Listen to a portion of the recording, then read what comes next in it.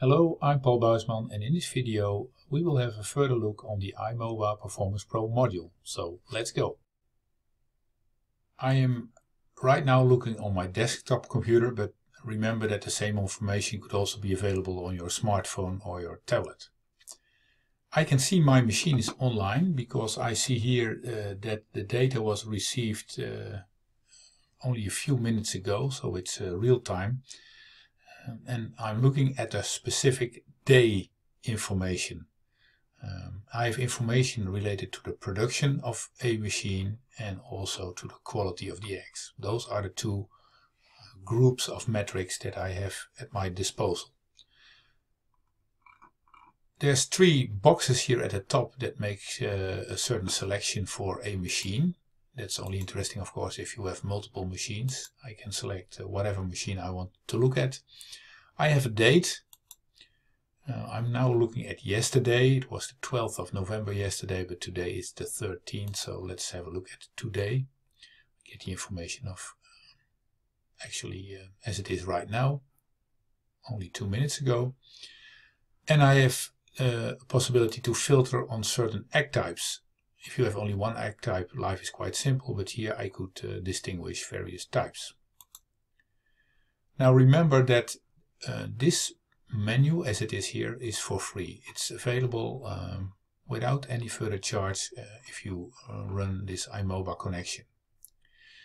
However, the most powerful part of the whole uh, idea is if you click on a certain metric, you can drill down in various ways. And that is uh, only possible if you subscribe uh, to this particular module.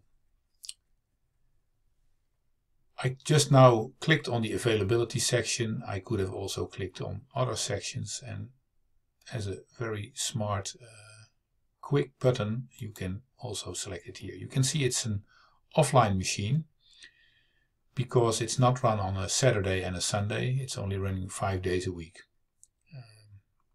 This is the month review. If I would go to the day review, I get much more detailed information like how many eggs were between 6 and 7 o'clock this morning, 7 and 8 o'clock, etc.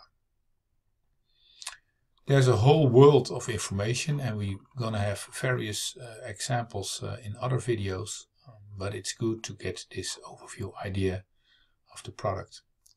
Every graph that is produced in here can be downloaded in various ways. And there's this little uh, context menu and if I click on it, I'm able to download it as an image or a PDF uh, document but also very interesting also as an Excel file. If I do that, you see it uh, being downloaded here in my browser. I can open it and Excel gives me the ability to do anything with this data that I want. For instance, put it in a management report, make a special graph or whatever. If you wonder what certain metrics uh, mean, um, you could go to this menu box here which will lead you to a menu with many more functions, but uh, it's good to know that there's a glossary that explains all the various uh, terminology that is used here. And later you could also find out that every uh, term you could adapt to your own, uh, let's say, dialect that you speak in your uh, packing station, because every uh, packing station has its own vocabulary on certain metrics.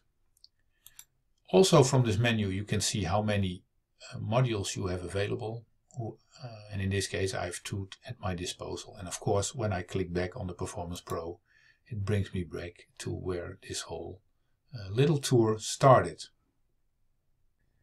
I hope this is a good first impression of this product. Um, as said we will have many more examples, practical tips and tricks how you can use this software. Thank you for watching.